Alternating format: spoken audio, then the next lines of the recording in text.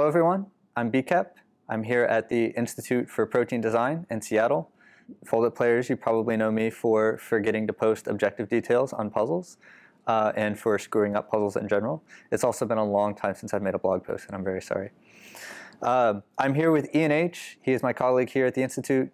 He is helping me put together these video updates. We'd like to share more what we do with Foldit players. I know we've been very bad about sharing behind the scenes what we do, the research that we do here, um, the types of experiments that we do with Foldit players designs and, and the work in general. These are meant to be more informal than a nice blog post um, and something that I can just walk in and give a brief update and Ian will put it all together for me.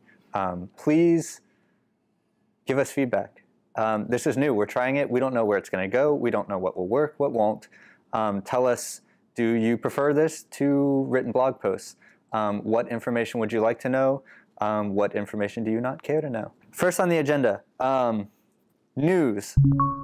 The Foldit team is growing. This is good news. Um, this next quarter, I will be mentoring an undergrad. We have an excellent undergrad coming to us, Neil Gupta. I should know his Foldit username.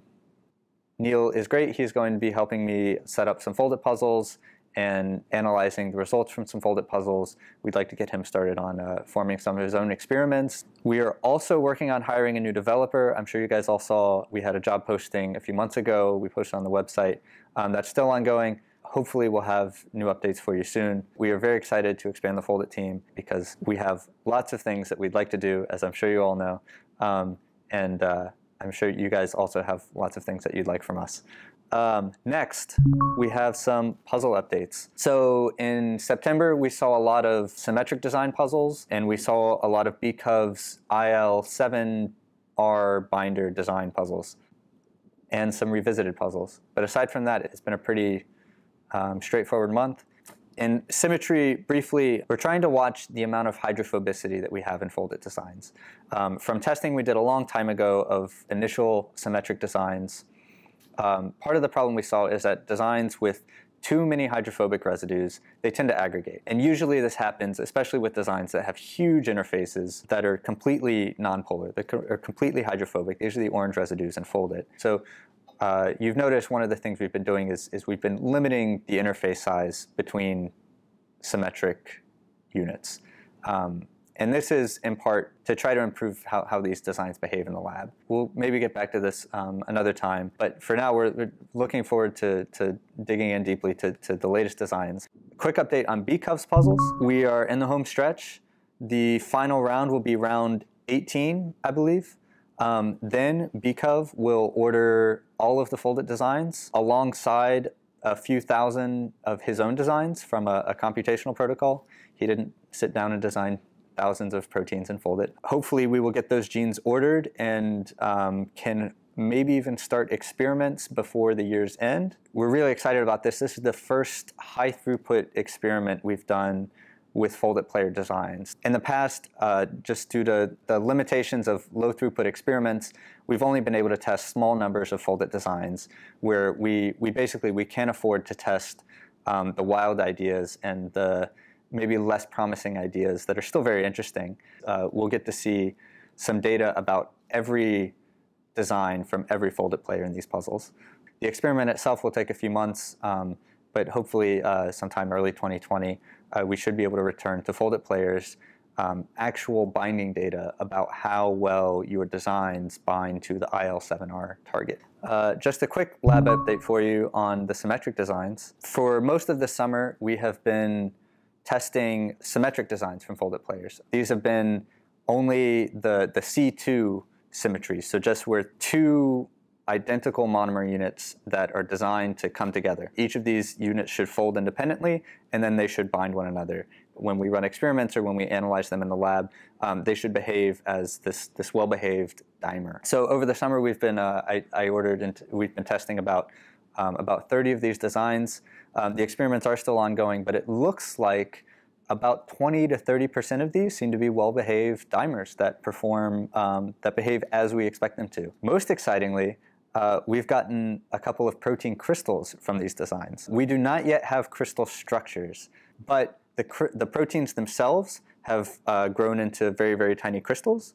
and we have sent these crystals to a very, very powerful light source down in Berkeley. Um, and they shoot very high intensity X-rays at these crystals, which form diffraction patterns and give us lots of lots of data about the structure of the proteins within those crystals. We are still processing all of that data. Um, it is turning out to be very, very tricky. Hopefully, uh, we will have a high resolution crystal structure of at least one of these Foldit designed dimers very soon. So the, these crystal structures are very exciting because uh, they basically they let us know that the designs that you made form exactly as you intended when you designed them and Foldit. So we also have a side project, maybe. Uh, some people in the Baker Lab, a couple of postdocs, Flo and Danny, have been interested in designing protein heterodimers. Uh, so these are different than the homodimers that Foldit players have been des designing, where each of the units is identical. Uh, Flo and Danny want to design protein dimers of, of two different proteins. Each have beta strands, beta sheets, um, and when they come together, the two beta sheets kind of, they, they match up to, to form one continuous beta sheet. And they also had some other requirements. They were looking for proteins. Uh, these, these units should each have a, a helix um, at the N terminus or the C terminus uh, so that it can be easily fused to another helical bundle protein or something like that. It just so happened that Foldit players had designed a ton of these structures in previous puzzles. Um, we've even written a paper on it, which I'm sure you are all well aware of. Um, so I sent some of the Foldit protein models to Flo and Danny and say, hey, I think these designs look like kind of the thing that you're looking for. Maybe you could take these Foldit monomers and redesign them so that they come together in a dimer a heterodimer.